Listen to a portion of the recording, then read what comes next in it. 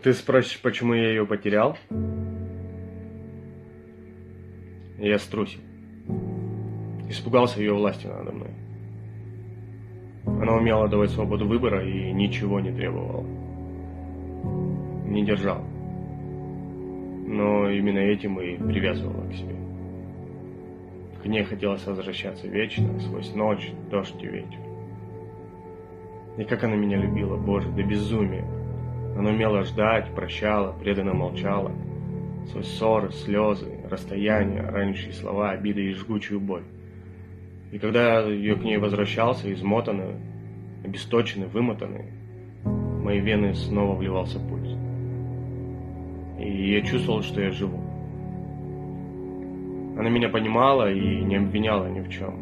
Такая гордая, сложная и в то же время простая. Моя. Моя зависимость.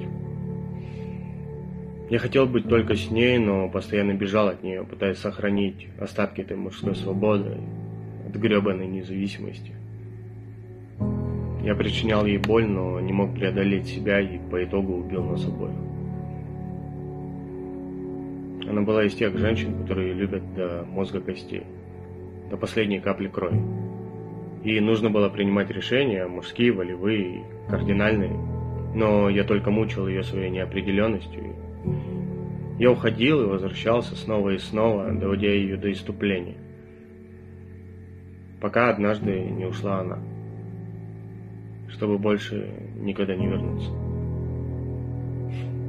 Странная фраза, которую я понял только потом.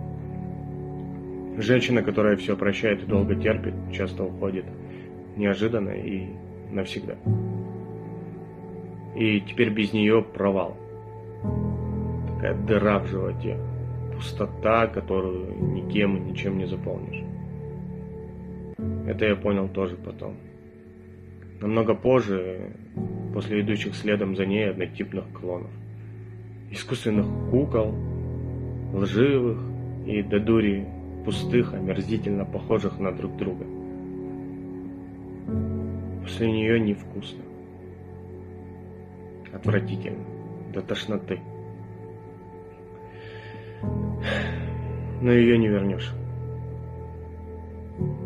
Особая порода достойных женщин. Такие не возвращаются. Любил ли я ее? Не знаю. Но когда она ушла, я проклял весь мир.